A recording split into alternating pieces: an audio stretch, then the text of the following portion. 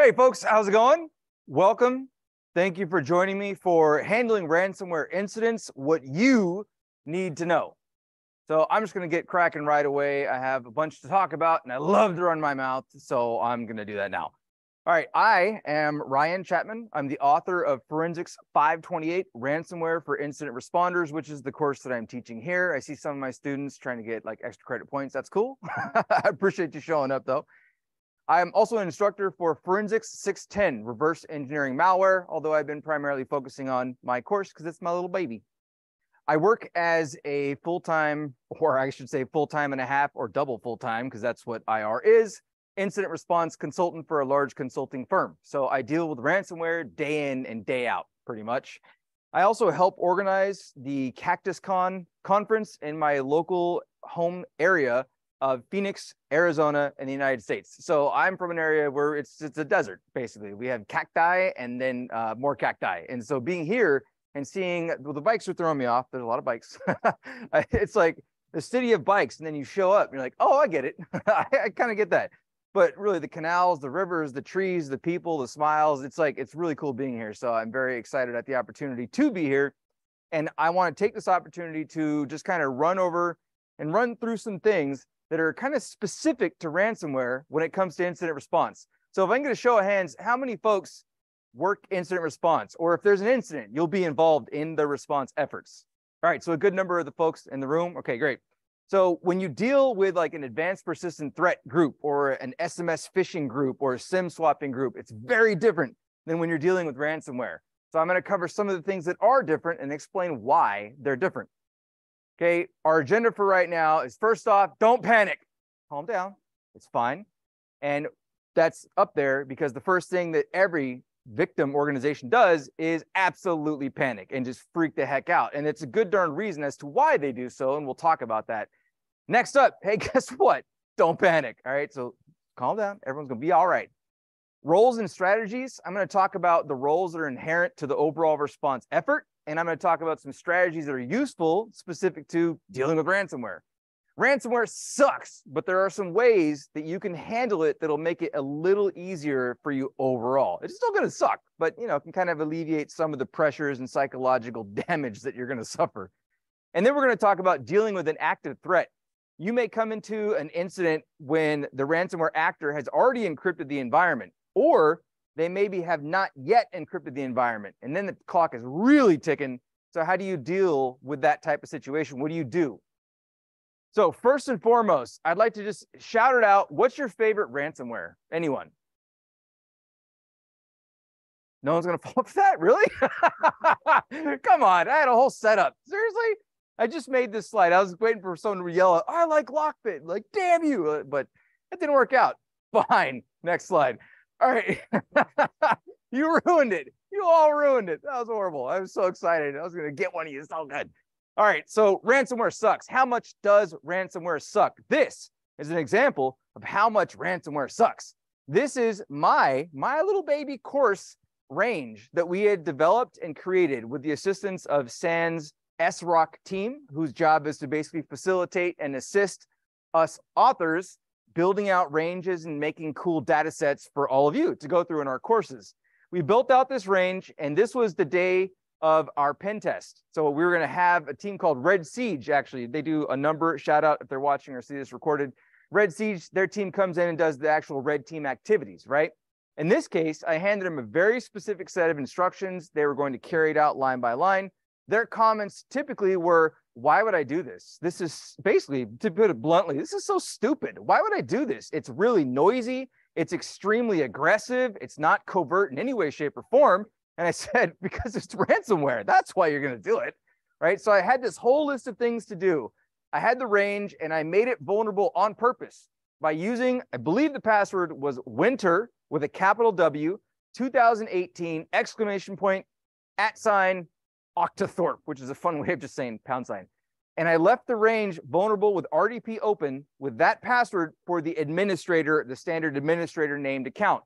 It was vulnerable for no more than 10 hours as I slept. And I made the joke, wouldn't it be funny if a threat actor got in and did something stupid? Right. So I woke up and we were going to begin step one out of like 200 something steps for our first scenario. I logged into our range and I found this.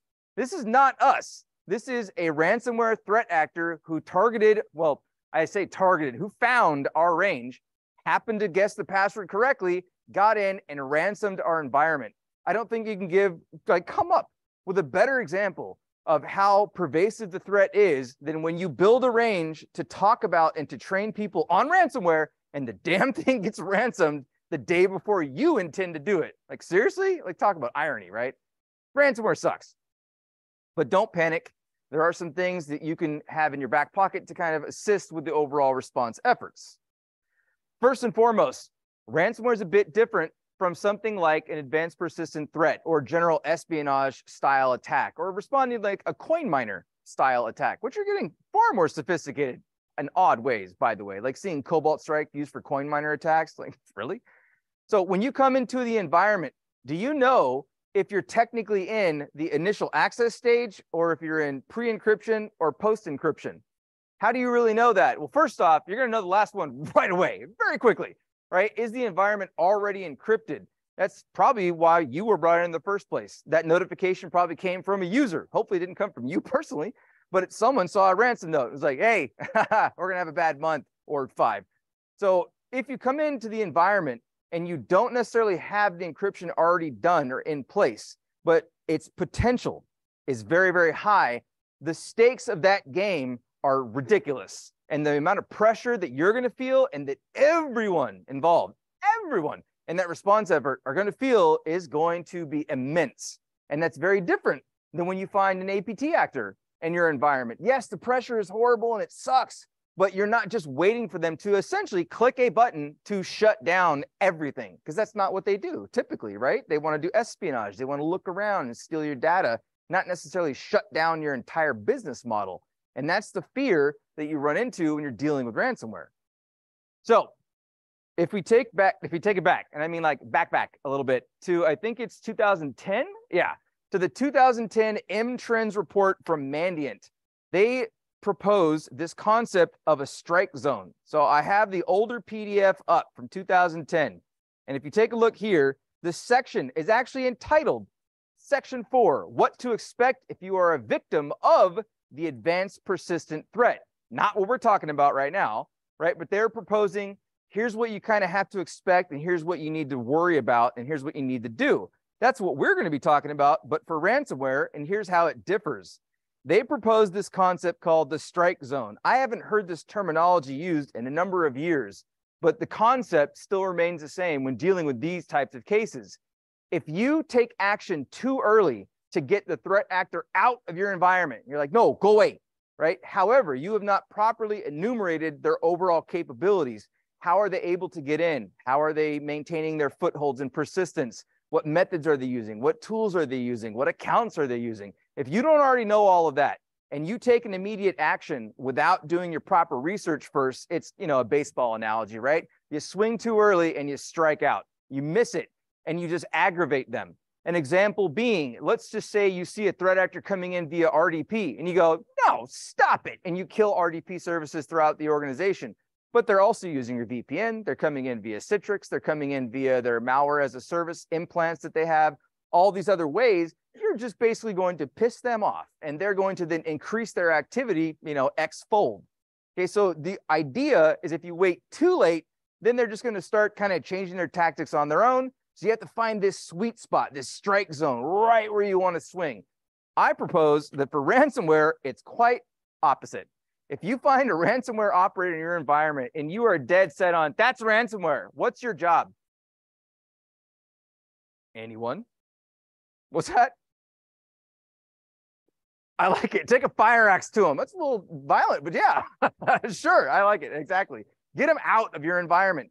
Now, might you end up playing a game of whack a mole, essentially? Yes, but your overall thing is you're trying to stop them from recognizing, oh, look, they see that I'm in here. I'm just going to deploy the ransomware encryptor or payload.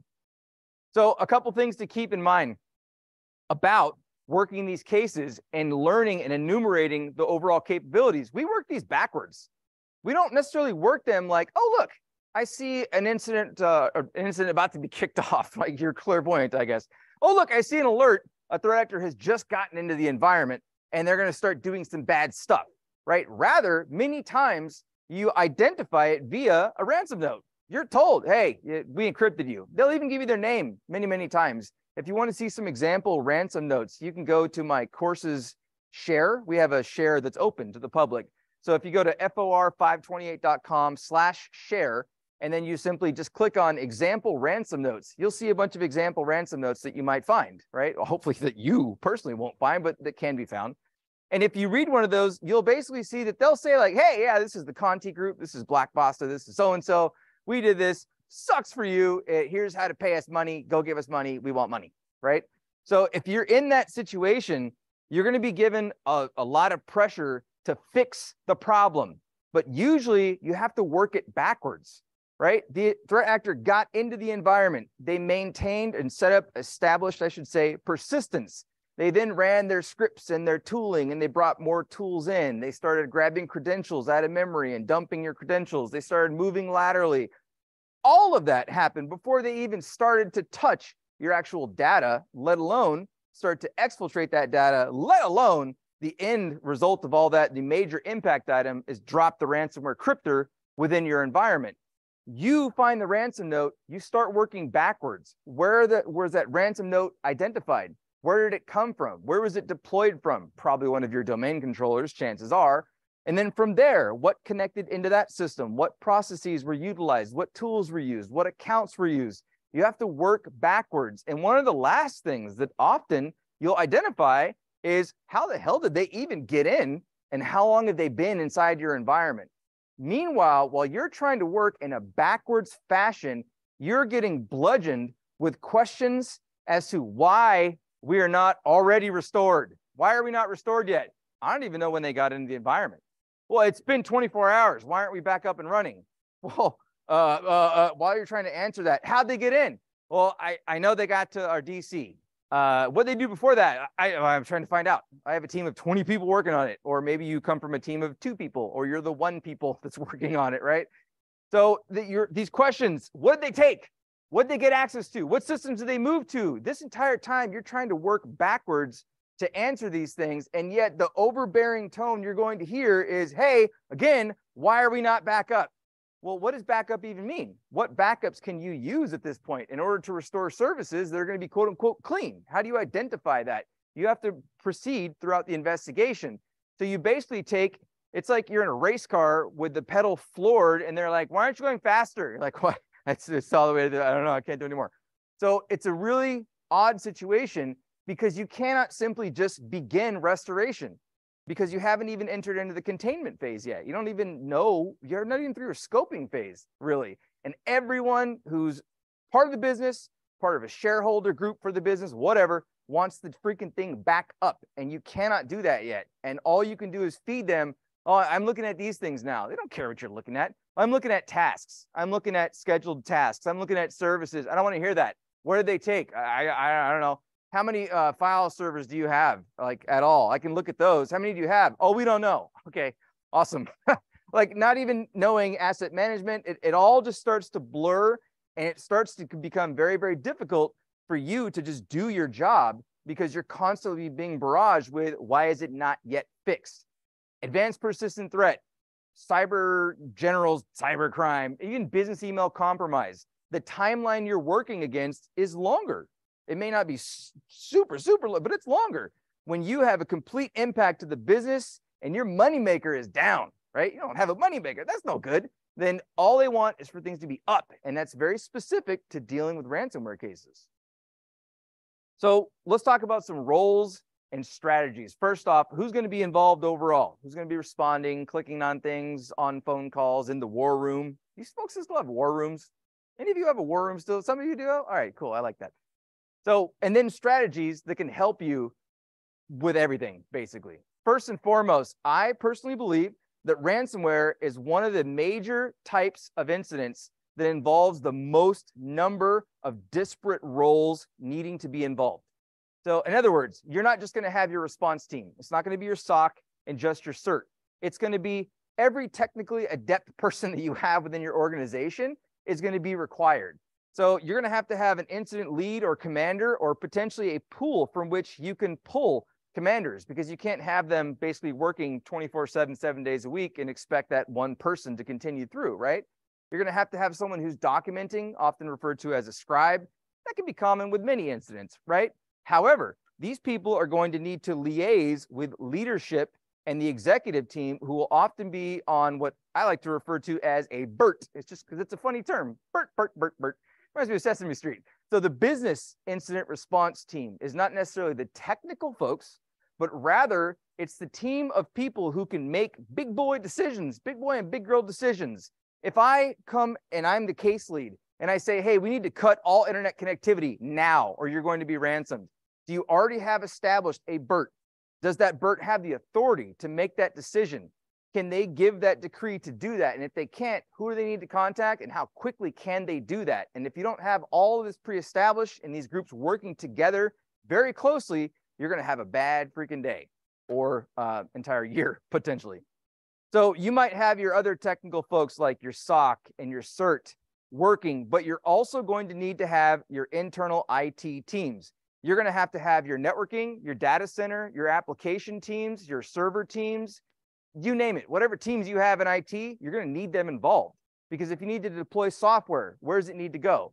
oh, it needs to connect to these subnets that are actually uh, not connected. I need to have a deployment beacon uh, host, or not a beacon, uh, bastion host set up so I can deploy from these various environments. All right, that's going to require server teams, going to require networking teams, going to require the general IT, maybe even the help desk folks, right? You're going to need a lot of people with eyes on the prize and that are kept up to date as to what general phase of the process you're in. And that can be very different from dealing with an APT type of situation. If you have third parties that are involved, MSSPs, MDR, managed detection and response, managed threat hunting.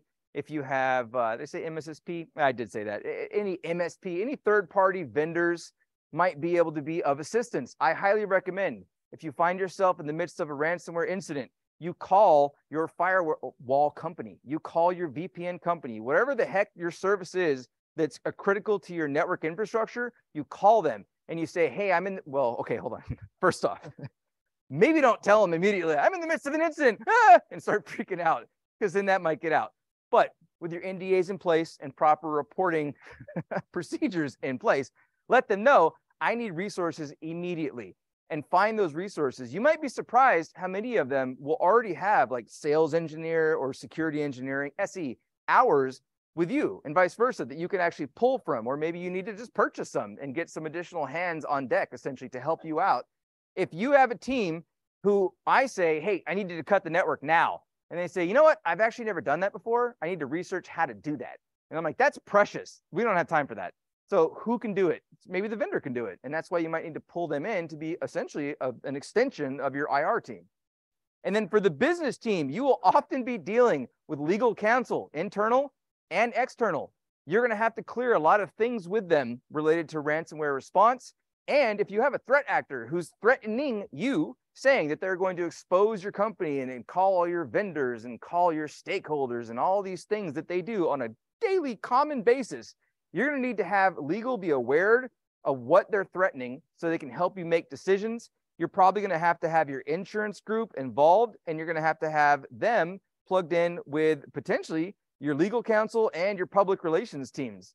You may even have to have human relations and negotiators brought in. Human relations, HR, might need to be involved if you're going to say, hey, I need to have this person work 12 hours today. And they're like, that person's in the EU, that's not going to happen. It's a Saturday, it's a holiday, something like that. You have to have them involved to actually get the approvals to do that.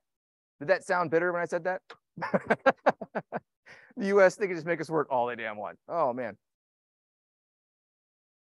So these groups that need to be involved, like public relations, when you have threat actors claiming, we're going to put you on our data leak site. We're going to show how much data we have from you. You need to have the authority and the people that can truly make those big decisions aware of what's going on. Because if you make them as a responder yourself, you're going to put yourself in a really, really bad place. And you absolutely don't want to do that. So when you're working a general incident, you don't typically have half your executive team in a war room. But when you're working a ransomware case, you absolutely should definitely have that going on. All right, communications. Here's a strategy involving communications. Ransomware actors love to negotiate. They love to negotiate. The first value they give you is not always what they're truly going to accept, the lowest they're going to accept, if you will, right? It's like bartering in a market. However, what I want to push, like what I want to get out to you is that negotiating can buy you time.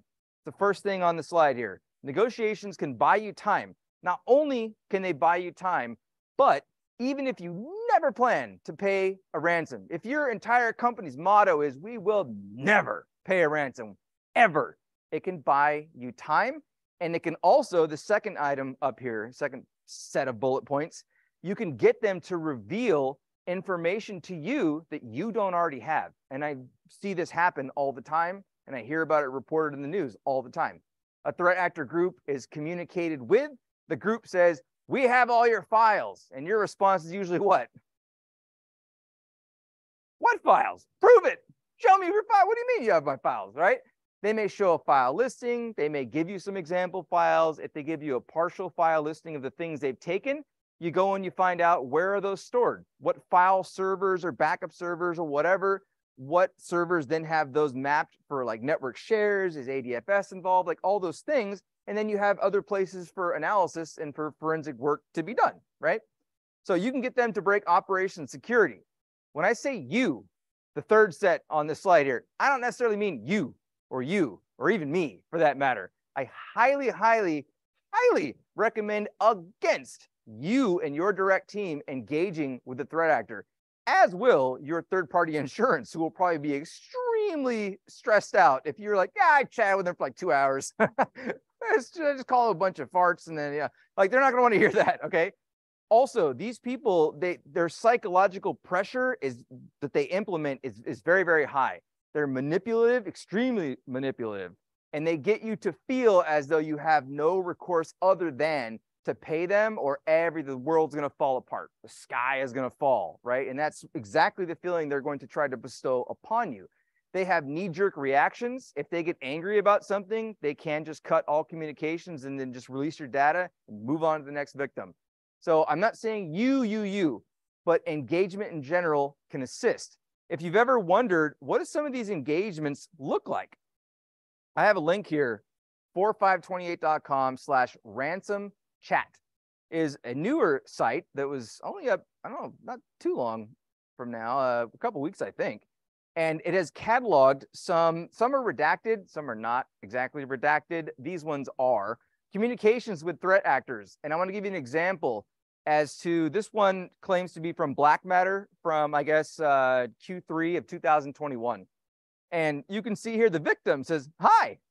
And the Black Matter representative says, Hello. And they just begin a conversation, right? So right away says, Hey, looks like you screw, I mean, encrypted us. and then Black Matter says, Oh, sure. Uh, yeah, I can help you out. Uh, what can I help you with? That's a cute question. Like, obviously, fix the deal. Like, duh. What can I help you with there, buddy? Oh, gee, I don't know. Just wondering if you had the time. Come on. So in this case, the victim is basically saying exactly what we all kind of surmised, right? Like, prove it. Prove that you've done did what you said you done did. And they come back with, okay, I'm going to give you some data to download. In this case, it's like, well, we didn't get it quite yet. Okay, I'm going to get you the data. Here's the data, redacted link. Don't try, oh, I'm going to go look at their data. No. And then they say it's a little bit of a sample. Here's some more. It's a file tree. In other words, listing of stuff that we stole from you, right? The response basically, all right, I'm going to go have management review that. That's kind of a go-to right there. Is all right, I'm going to take that to my manager, like you're buying a used car. Yeah, hey, take that to my manager, kick it around in the back for a little bit, right? So in here, they're like, well, tell you what, we have these databases. Can you show us that you have data from those particular databases? The response that comes back is uh, no, because they're databases. So we're not going to waste our time to basically pull that individual data out we just grab a bunch of data in aggregate. We're not going to show you that. So in here, they, they're basically getting impatient after a couple days passes. Keep in mind, a couple days passes, but communication is occurring even if it's not necessarily actively occurring. You're still engaged in communication, right? If I scroll back up to the top here, this started on August 29th, and we're already down here on September 5th. If I scroll down to where we were, if I find that, over here, when they the victim does get back to the threat actor, they say basically we need all these assurances. Now, are they really prepared to pay at this point? I have no idea. I don't even know who this victim is. They could just be buying more time, right? It could just be a ploy, a tactic, and that works very often. In this case, they say, all right, we're increasing your timer so that you don't have to pay, you know, once the timer expires, like, whoop, the bomb's going to go off kind of thing. And then down here, they're like, all right, we can pony up 150. And the response that comes back is, we know your cash flow. And yeah, we're not asking for an overpriced amount. It was in the 4 million something range, by the way, nowhere near 150,000. So the response comes back, you know, like, hey, hey, things suck right now. We're a small company. We don't have significant capital. And their response is, we can give you 20% off. Our best offer is four to 4.5 million. All right. So I guess originally it was up in the 5 million area. So that's okay. Thanks for the little bitty discount. Appreciate that. And then eventually, all right, look, we, we worked with some bank stuff. Maybe we can do 250, right? Again, do they really mean to pay this at this point? I don't know. Maybe, maybe that's literally all they actually can get, or maybe they're just buying even more time. It's already September 7th by now their DFIR teams are working probably around the clock, the third party consultants, whoever it is, to find all the answers they could possibly get to deal with the answer of are we actually going to have to pay this? What are we going to do when the data gets leaked? You're not buying time just for the DFIR team. You're also buying time for public relations to talk to all the different legal entities that need to talk about all the reporting requirements so that you know and understand what you're going to freaking do before you get into a lot of trouble before the threat actor does it before you do. That's what you're trying to avoid. Eventually, they say down here, you know, uh, check it out. Okay, the max we can do is 350. And they say, no, it's not, it's too low. Don't try this. Save your time. Like you're wasting our time. The response then comes back like, all right, well, I think we can do 500K, which gets down to, yeah, get 1 million more and we can do a deal. So from 5.55, whatever it was, my math is off there, down to 1.5 million, and it ranged over 10, 11 days of communication. Did this particular group intend to ever pay? I have no idea. But you can see right here, the general negotiation process buys you time. And in this case, they gave a number of example files to the, the, the victim. They call them your, they call you partners, by the way. They'll often call you a partner. Hey, partner. You're like, that's cute. Don't call me a partner. Uh, but either way, you get the idea. It can be advantageous, even though it might be sickening to engage.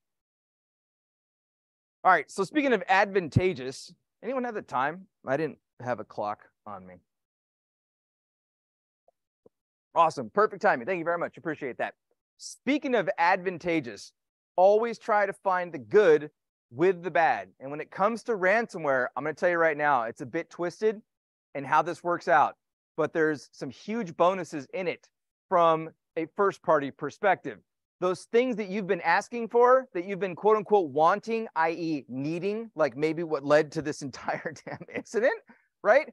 You might just get those finally. Yes, that's ridiculous. Yes, that sucks. But at the same time, you might get the darn things. So take advantage of that, right? Turn turn the sad into a slightly uh, smile, and then bring back to sad probably since you're working around the clock for the next couple of weeks or months.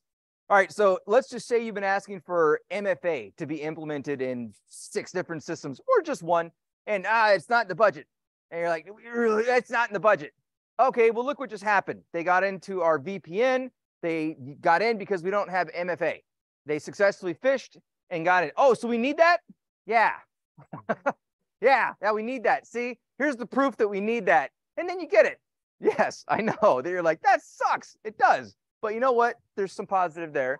So take it. All right, another, the last little strategy thing. This is something that I've been pushing for a while. It's not industry standard. I'm trying to make it industry standard. I personally recommend that if you have critical data that's been encrypted, that you're not going to be able to restore or rebuild easily, or that you're just going to have to lose some of that data, even if you get a decryption key, for example, that you back it up.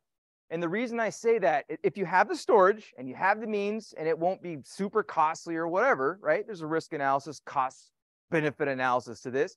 Back up that data. And the reason I say that is many times keys will become available. Some groups have just gone away, like the Avaddon group and the Maze group and Egregor. When they went away, they just gave their keys out. They're like, nah, we're done, right? were they really done as as threat actors, as ransomware operators? No, they were just done with that brand name. They're like, this brand name sucks. I'm gonna go make a new one, right? And so they gave all the keys out. Sometimes, like recently, the BianLian group, they tried to roll their own crypto. They didn't use standard encryption libraries and they got a little fancy, but made a little boo boo and ended up embedding the private keys into some of their samples, which, oops, allowed a bunch of decryption to occur. And so a decryptor was released by, I believe it was Avast. I think it was the Avast group.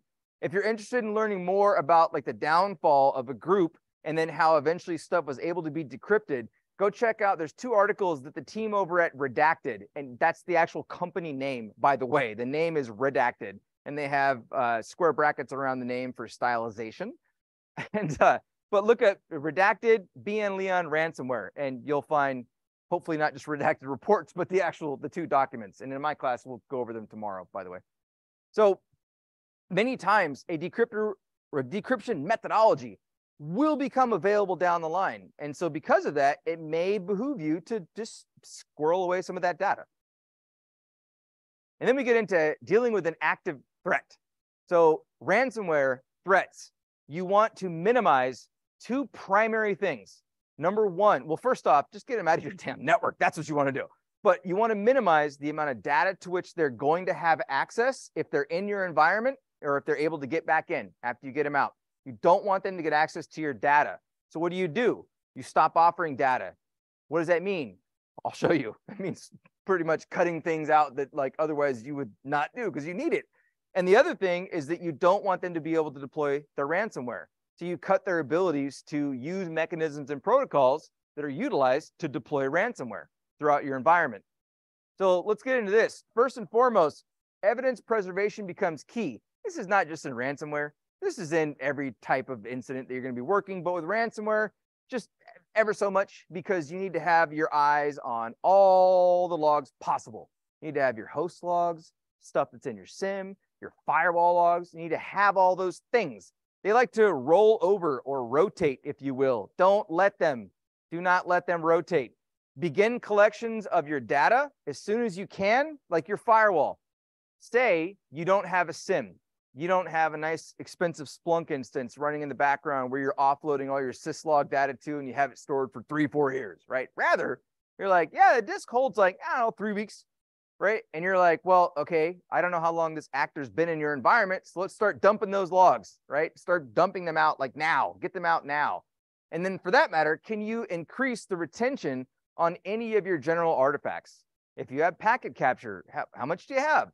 oh, we have enough disk space for about three days. Can you temporarily increase that maybe? Can you, you reuse a SAN you're using elsewhere? Can you just increase that retention so that we're not losing additional visibility? Because once you have a ransomware actor in the environment, the questions that you need to answer, the more data that rotates off, you're not going to be able to answer. And when you can't answer what they've had access to or where they've even been, which servers they've even accessed, and things of that nature, it gets real ugly. When you then have to talk about reporting with counsel and with insurance organizations. It gets really, really ugly.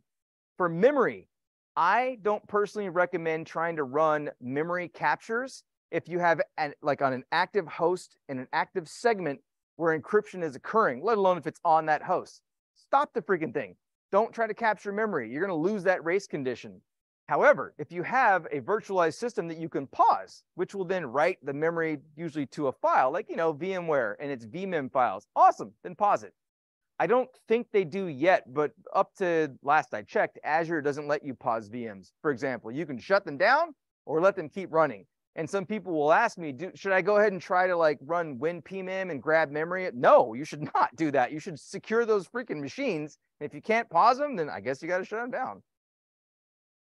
All right, next up, systems may be down upon which you greatly depend to perform your response activities. So think of this. In most ransomware cases that consultants like myself find themselves working, Active Directory is not available. It's down. Why? Duh, because the servers are encrypted, right? So when you think, oh, well, okay, you come in to help me as a third party, or if you have your own solid team and you're like, no, we wouldn't even use a third party, we're good. And you're like, okay, cool. How are you going to deploy scripts to collect forensic artifacts if you don't already have previously established agents deployed? You go, oh, I'll just use uh, PDQ deploy. Will you now? Because the Active Directory is down. Oh, uh, uh, oh. well, how would I do that? Well, you tell me. how are they connected? Are they connected on LAN segments? Can you basically just use the IP addresses? Can you do an ARP-A and find local hosts and then push things to it that way? Do you have physical access to devices? Can you take USB drives and plug them in and collect artifacts that way? You may have to do that, right? So what access do you have if Active Directory is down? And think of that from the perspective of your InfoSec policies do your policies, whether it's your business continuity, your disaster response, like whatever, however yours are formatted and drafted and whatever, do they take into account that Active Directory may not be available? Many times they do the exact opposite. And many times they're stored on servers that get, guess what? Encrypted. and then, damn it, you don't even have those documents available. And that sucks. All right. Also, communications. Out of bands communications can be necessary the threat actor may be in the systems that you're using, including like in your EDR. So if you're making changes in your environment and they just go live terminal in via your EDR and just undo what you did, they're like, no, I want that. That's dumb. they just try to stop your response to them basically. So do you have third party chat communications? Yeah, that's not really specific to ransomware, but it's very important in ransomware cases. You want to protect your crown jewels. I propose your crown jewels are not just the data sets that you claim or that your executives or whatever state or tell you are your crown jewels, but rather are your backup servers, all your backup whatevers, along with your virtualization mechanisms infrastructure.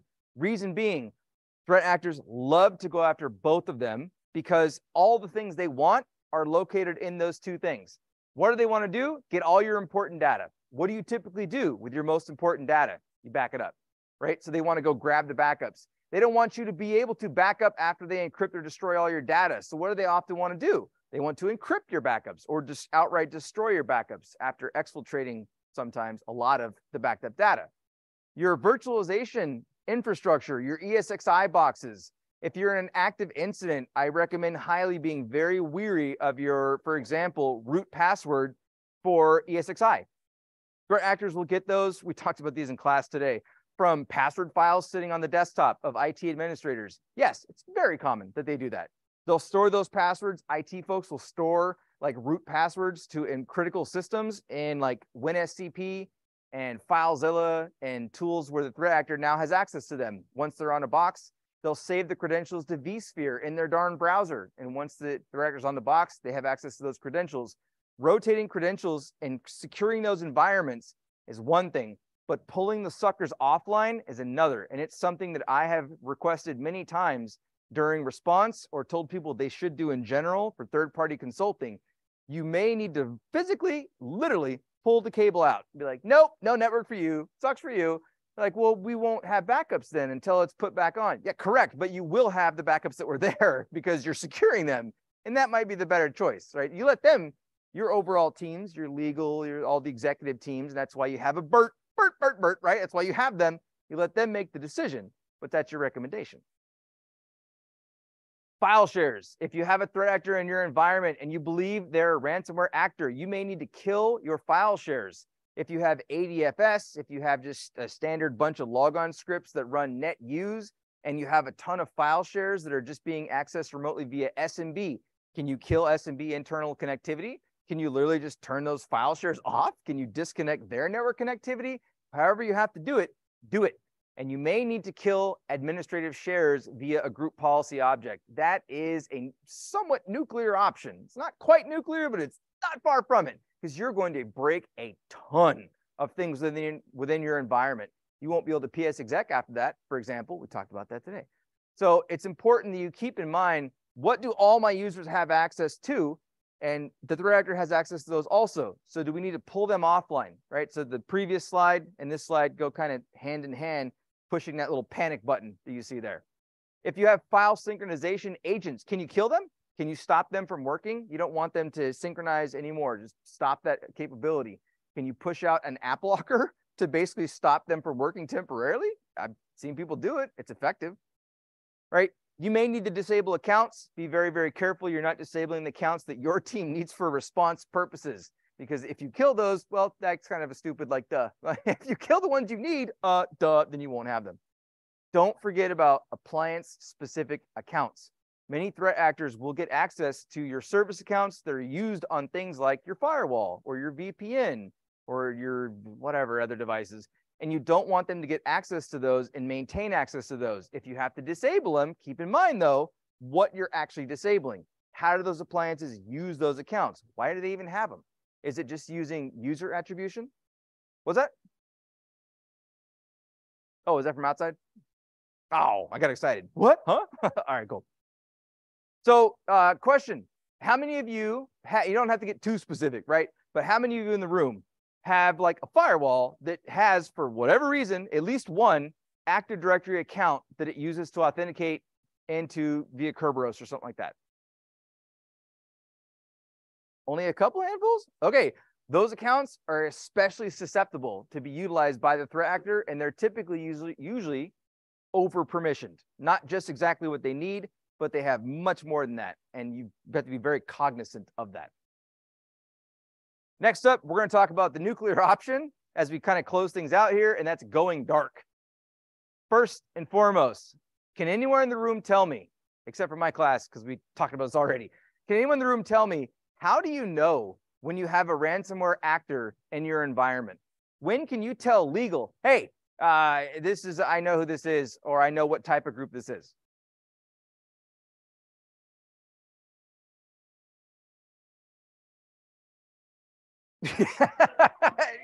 yeah, pretty much. The response for the online folks is a ransomware note shows up. That's how I know, right? You can follow TTPs and you can follow IOCs and you can correlate those and you can go, ooh, I think I have this particular group, or for that matter, this has got to be ransomware, right? I'm pretty darn sure this is ransomware. But what I just said doesn't translate very well when you approach legal and you approach your CISO or your C levels or whatever, and you say, hey, I recommend you immediately cut all ingress and egress from the internet. Why? Oh, we have a ransomware group in our midst. How do you know? I have a darn good feeling, right? They're gonna be like, what? At what point do you really know? Well, if they bring in a ransomware crypter and it gets caught by your AV and you go, oh, oh, oh, go dark, go dark, damn it, go dark. That's my recommendation. Good luck getting that across the board, by the way, for them to do it. But I've had many situations where going dark potentially saved the client. And by the way, notice I said potentially it's very difficult to even prove like i'm glad you did that. And then you know you killed your own revenue of whatever millions of dollars. Uh, it stopped you from getting hit with the crypter well, how do you know that? Well you didn't get hit right? That's like you didn't get encrypted. So like obviously we made the right move duh. When you go dark a couple things to keep in mind. Focus on interconnects. I've had people tell stories. I've seen ransomware events where they're like, oh yeah, so we went dark, and then like two hours later, the ransomware operator deployed the ransomware. You're like, wait, what? It was an insider threat? No, no, we totally forgot we had ingress points in AWS and GCP, and they were just in those servers, and whoops, and then they were in our entire data center going nuts, right? So be careful for that. Does your team have the knowledge, the capability, and the know-how to quote unquote go dark? It's seemingly a simple thing. How many egress points do you have? How many points of presence do you have? Shut the BGP down, right? Is that it? Are you dark? Right? Probably not. So, do you have a core network services team? Do they have control of your networking fabric enough that they can help you properly go dark? Most companies, that answer is no. And most companies, the response for me is then, well, then plan all that out beforehand and your firewalls stage the rules that you'll need. So all you have to do is go commit.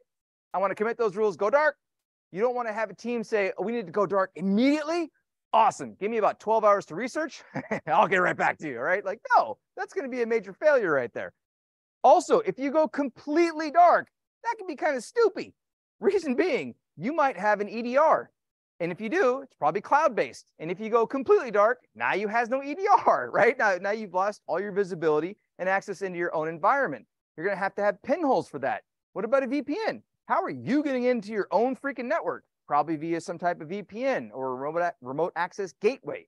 Do you have pinholes for that when you quote unquote go dark? Right? All of these things need to be thought about well ahead of time because when you come into an, an environment and you start Googling things and you're going, you know what?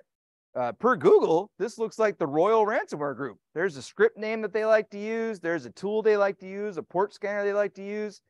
I, I think this is Royal, right? So what are you going to do in that case? In that case, you want to get them the heck out of your environment. And if you're sitting there and you're like, I have no idea how deeply they're in here, and at any point they're going to see that I see them, what could be the response then? Going dark, getting them. That's how you really get them out of your environment. It's a massive risk analysis, cost benefit analysis. But luckily, most of us don't have to make that. Any of the C levels watching are like, cool story, Ryan. I'm like, I know. it works really well for me. I just say do it. Okay. Finally, recovering from backup. You have to be very, very careful. Your IT teams in general will want to start restoration processes, right? Here at SANS, we've taught you for, I don't know how many years now, the PICERL process, right? Prepare, identify, contain, stop the thing, eradicate all the, the bad, right? Then remediate. No, no, no, no. Your IT teams are going to be like, we're down? Well, that's dumb. I recovered from a backup from 48 hours ago. Like, wait, what?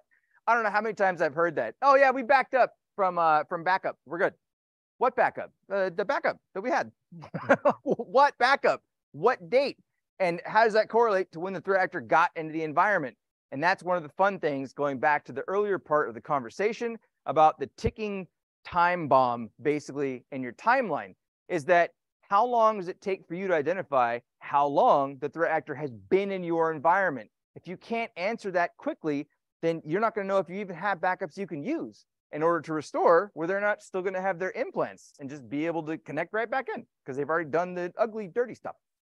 The ugly, dirty stuff. Yeah. All right. That's it. I would like to mention that we have a ransomware summit that I'm co chairing with one of my 528 instructors, Phill Moore, on June 23rd. It is open and free to everyone. It will be recorded. If you want to register for it, just go to for528.com slash summit 23. If you don't get to that until after June 23rd, then we'll just have a YouTube playlist there for you to watch all the videos. And that's it. Thanks for attending, and I appreciate it.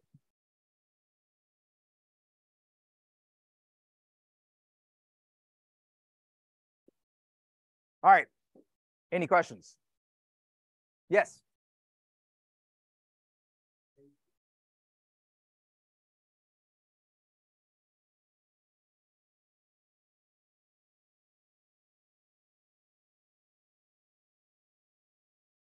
Yes.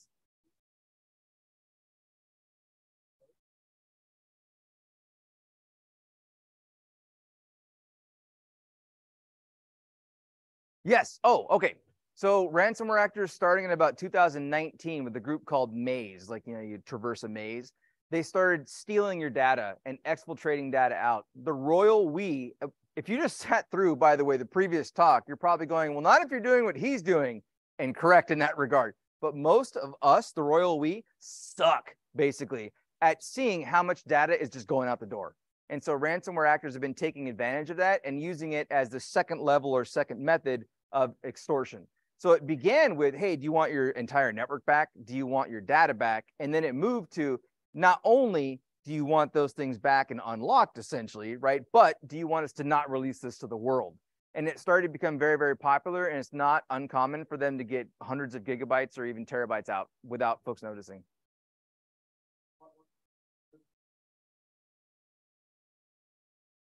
what's that oh yeah exactly you just have to trust the threat actor duh yeah just just trust the thief of course Yes, the the entire business model of paying a ransom is inherently trusting the criminal with whom you're working who has already done you wrong grossly. Like so, yeah.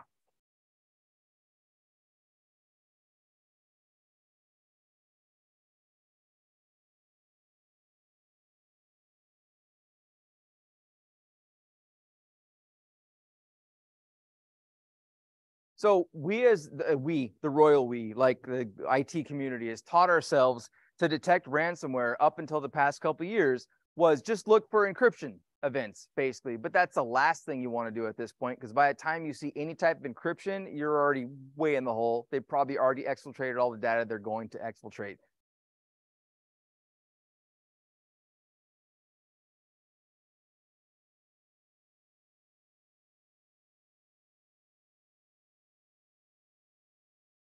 Yeah, yeah, exactly. By that point, like it's already game over anyway. So the the primary thing to do is initial prevention and deterrence and then early detection. And early detection, I mean, you know, the whole class, the class talks about all the methods of, that they're, the threat actors utilize and how to hunt them and detect them.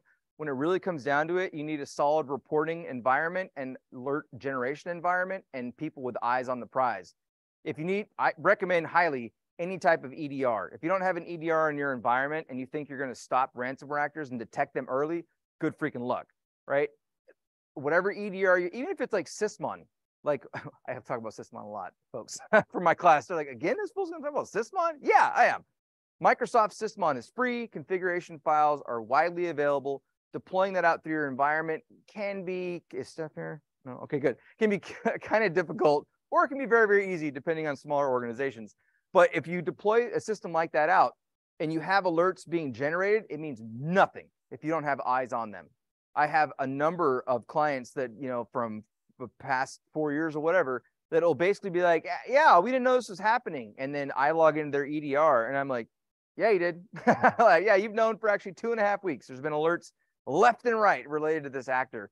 So having some type of log aggregation system where you have your data aggregated and then alerts running through there or an EDR doing that for you. Also, MDR is very, very helpful if you don't have a team built out to do these things for you. So manage detection and response. Uh, you know, my day job, we have a tool and we have MDR. I, I don't care. Just have something essentially is what you should have. And having eyes on the prize doesn't mean, oh yeah, we have a security analyst who checks the alerts generated by like Splunk or by our EDR uh, every two days. Or so that's not what that means. it means like actually having eyes on it and having, you know, hourly checks of certain search types and things of that nature and building out a proper response team, which most groups don't have the funds to do. Kind of ruined my answer at the end there. do these things, which a lot of folks can't do. Any other questions? Yeah. Yeah.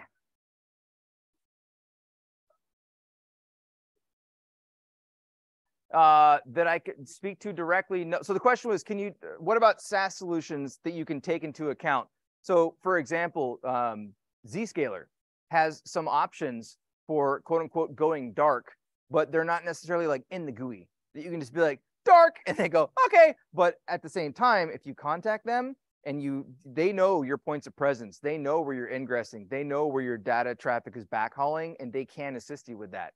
So there, they have some of them have methods for that, yes, but it's usually not in the, in your tenant where you can just be like boop, you know, like nothing, and yeah, yeah. What's this button do? Click. Oh man, can you imagine? All right, any other questions? All right, cool. Ah, ah.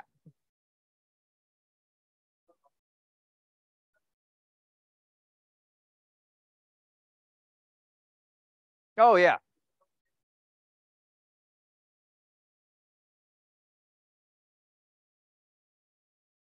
The algorithms, the question is basically what are some of the more common encryption algorithms utilized by the group, the groups, the crews? ChaCha 20 and ChaCha 8 seem to be the most common over the past couple of years. Those are usually very well published and easy to find by just looking up a ransomware group whenever one of their ransomware samples or variants gets out into the wild, as we call it, into the public, a malware analyst will go, yay, and grab it. And because most of the time they use standard system calls, because if they don't, they end up like BianLian with all their stuff decryptable. So when they do that, it's really easy to see exactly what they do. So like Conti, which was the biggest group for two, two and a half years, they used ChaCha 8, and it was very easy to identify that they did that. Uh, I can't remember what Black Basta uses right now, but Black the, some of the bigger names, the algorithms they use are very, very well known. It's just the fact that the symmetric key, you know, like good luck with all that. So, um,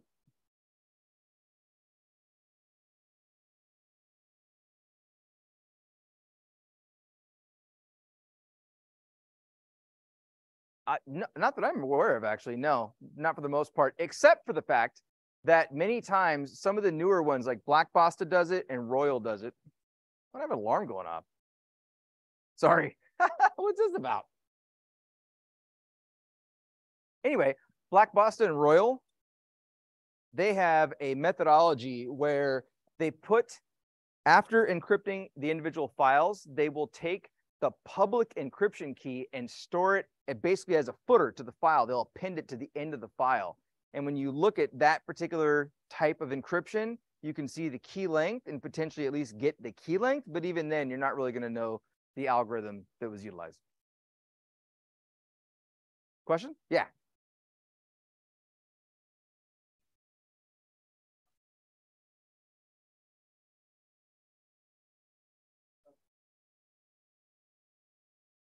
The like the malware itself when it's running. Oh, my personally me? No. No, no, no, no, no. No. So I've been doing reverse engineering for maybe eight or nine years, but I have not sat down with a ransomware sample and truly pulled it apart to the point where I was like, oh, look, there's a flaw or something like that. But the redacted group and working with hand in hand with who did I say did it?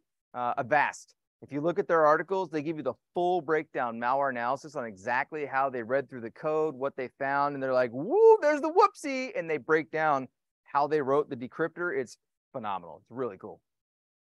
Also, we have a talk coming up at the Ransomware Summit. Um, I don't remember who right now because I'm a bad person, but the talk is entitled like Decrypting LockBit's Encryption Scheme or something like that. And it's going to go into exactly that process. It's going to, they're going to be in IDA uh, Pro, which is a, a popular disassembler decompiler, and show you exactly how they do it. And I can't wait for that talk. I'm excited for it.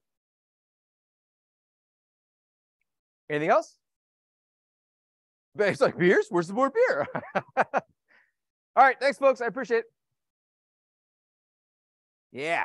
Good luck with the rest of your uh, your week for classes. I hope you enjoy whatever class you're in. You better. You better.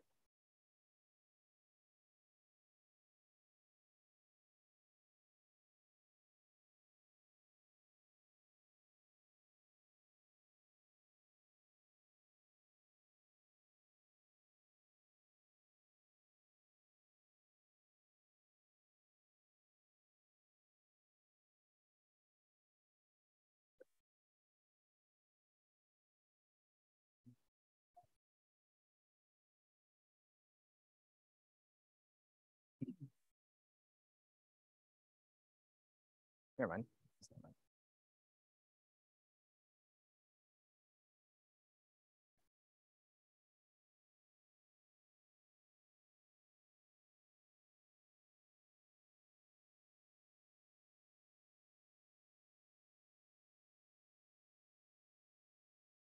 Huh? Yeah, what about him? Yeah. Yeah, I'll make I'll give them to you guys tomorrow. I'll make them available.